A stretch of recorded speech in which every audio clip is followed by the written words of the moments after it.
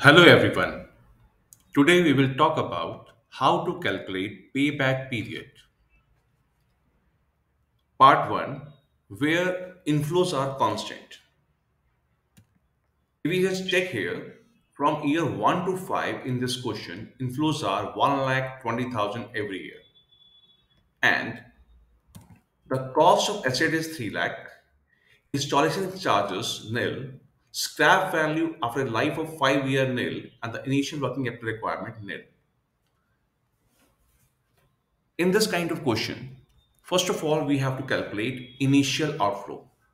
Initial outflow equals to cost of assets plus installation charges plus working capital. I will use equal here cost of asset plus installation charges plus working capital. The amount is 3 lakh. To calculate payback period, we use formula initial cash outflows divided by expected cash inflows per annum.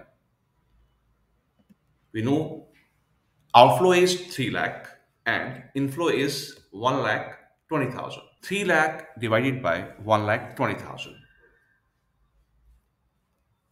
So we use formula here equal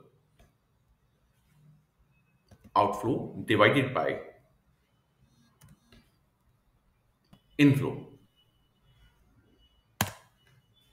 Answer is 2.5 years.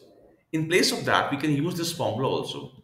Round outflow divided by inflow.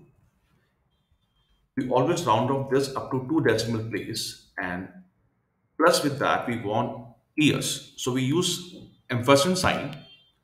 In quote we write years.